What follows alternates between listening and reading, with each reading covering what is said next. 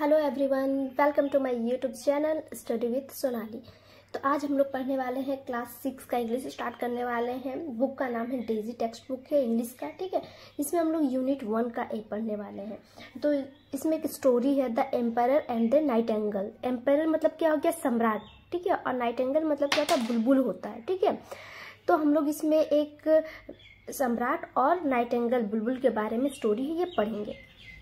तो देखो before you read have you ever hear a caged bird sing do you find it different than a bird singing in the garden well this is a fairy tale about a nightingale a singing bird who sings as sweetly as a cuckoo the nightingale is put in a cage by a chinese emperor because of his, its melodious voice. What happens next? Read to find out.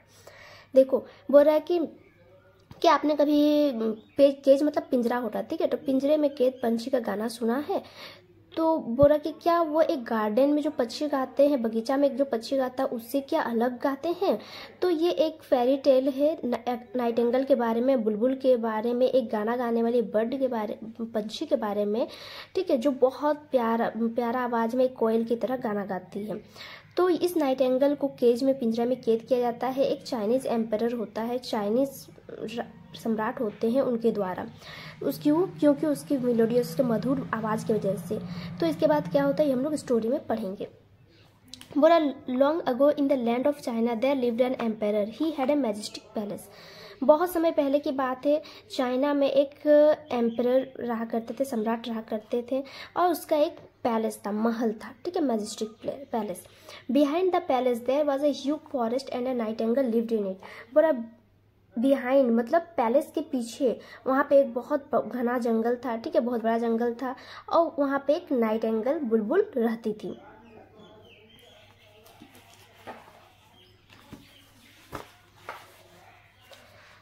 The nightingale sang so melodiously that it was none for, none far and wide. People even wrote books about it.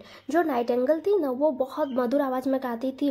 तो ये बहुत दूर तक बात फैलता गया कि ये पक्षी बहुत बहुत मीठा आवाज़ में गाना गाती है। तो पीपल लोग उसके बारे में बुक्स भी लिखना स्टार्ट कर दिए। What is this nightingale why I know nothing about it तो वहाँ के जो सम्राट होते हैं, वो बोलते हैं कि ये नाइट एंगल कौन है? मुझे इसके बारे में कुछ क्यों नहीं पता। One day the empire read one of the books and wish to see the but bird singing. तो एक दिन क्या होता है, जो सम्राट होते हैं, वो एक बुक पढ़ते हैं, वो जो पक्षी के बारे में रहता है, गाना गाती है, उसके बारे में, ठीक है? तो emperor read one of the books and और वो इच्छा करते हैं कि वो पक्षी को गाते हुए देखना चाहते हैं। The empire order his man to bring the nightingale to the palace तो जो एम्पर होता सम्राट होते हुए अपने लोगों को क्या बोलते हैं कि नाइट एंगल को बुलबुल को मेरे महल में ले आओ। देर इट इज़ तो सब उसको खोजने में निकल जाते हैं। तो सब देखते हैं कि वो एक जंगल में रहती है, पेड़ के डाली पे। तो सब बोलते देखो यहाँ पे। Only a kitchen maid had seen the nightingale so she took them to the bird so she took them to the bird तो एक किचन मेड होती है किचन में काम करने वाली जो नौकरानी होती है, ठीक है? तो वो सिर्फ़ बुलबुल को देख, देखती है। देखी थी। ठीक है तो so she took them to the bird तो इसीलिए वो उसे पक्षी, पक्षियों के पास ले गई थी। So she took them to the bird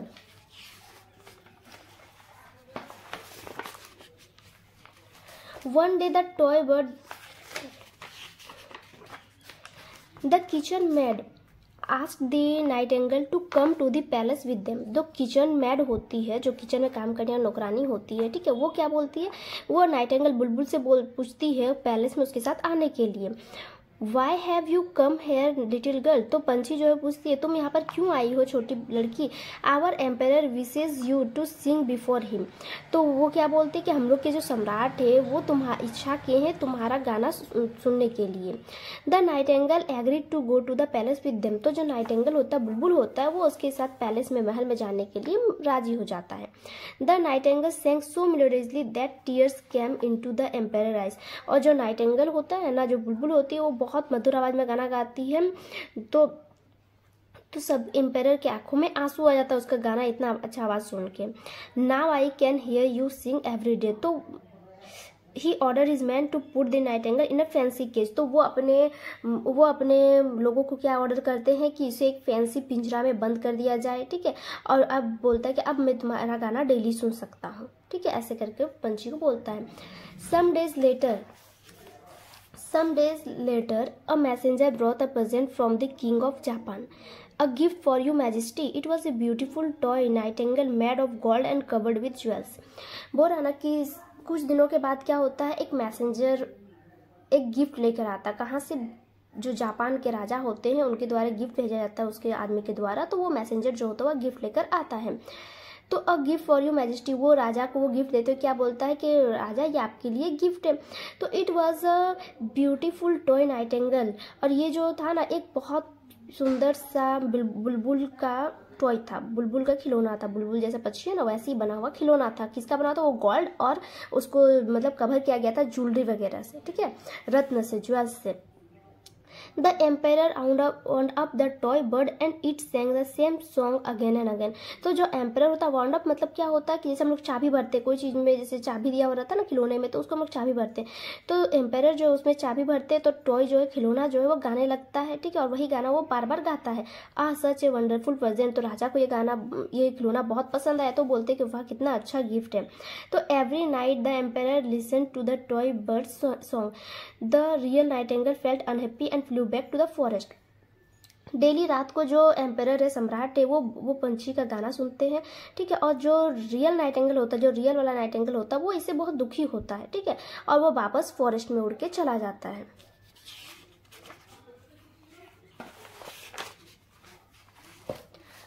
One day the toy bird broke and no one in the kingdom could repair it. I will never hear the bird sing again. The emperor became sad. His only wish was to hear the melodious music of the nightingale again. तो एक दिन क्या होता है जो toy bird होता है जो पंछी होता है खिलौने वाला तो वो क्या होता है टूट जाता है और कोई भी किंगडम में पूरे राज्य में उसका कोई नहीं होता है जो उसको ठीक कर सके तो फिर राजा बोलता है कि मैं तो अब इसका गाना, पक्षी का गाना कभी नहीं सुन पाऊँगा दोबारा। तो जो राजा होते हैं, वो सेड हो जाते हैं। जो सम्राट होते हैं एम्पेयर वो सेड हो जाते हैं। तो वो विश करते हैं his only wish was to hear the melodious music of the nightingale angle उनका एक ही विश होता है कि वो बुलबुल का गाना फिर से सुन सके, ठीक है, उसका मधुर आवाज़ को।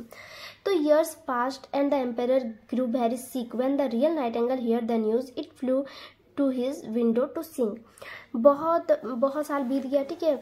साल बीतता गया और जो एम्पेयर है रा सम्राट है, वो क्या होते बीमार पड़ जाते हैं।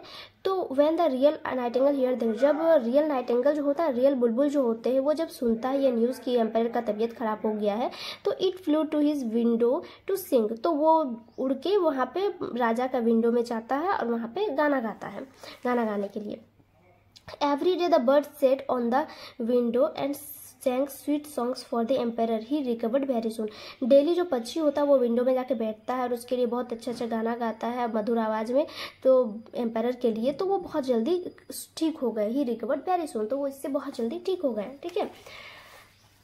The emperor pleaded the nightingale to come back to the palace and stay in the cage तो जो एम्पेयर होते हैं, वो पंछी के सामने गिराते हैं रिक्वेस्ट करते हैं, उनको बोलते हैं, बोलता है कि तुम वापस मेरे महल में आ जाओ और यहीं पे पिंजरा में रहो। तो thank you dear nightingale वो उसके धन्यवाद भी बोलते हैं I like my freedom but I will come the nightingale refuse to stay in the palace but promise to come to the window every night to sing and did it तो जो राजा होते हैं, वो नाइट एंगल को thank you बोलते हैं, क्योंकि उसके वजह से ही वो ठीक हो गए थे। और नाइट एंगल जो है, उसे जो ऑफ़र देते हैं राजा, कि वो वहाँ पर पैलेस में ही, महल में ही रहे और पिंजरा में रहे, ठीक है? तो नाइट एंगल जो होता है, वो रिफ्यूज़ कर देते, मना कर देते हैं पैलेस में रहने से। क्यों? लेकिन वो प्रॉमिस करता है कि वो डेली उनके विंडो पर रात को डेली उनके विंडो पर आके उसके लिए खाना खाएगा। और वो ऐसा करता भी है, ठीक है? और वो क्यों मना करता है? क्योंकि उस, वो बोलता है कि हमको अपना आज़ादी पसंद है, लेकिन मैं आता रहूँगा, ठीक है? तो वो इस तरीके से अपना जो राजा से ये करता, वादा करता, उसको प्रॉमिस को पूरा करता है। तो ये स्टोरी यहीं तक था। अब हम लोग मिलते हैं नेक्स्ट क्लास नेक्स्ट वीडियो के साथ। Thank you everyone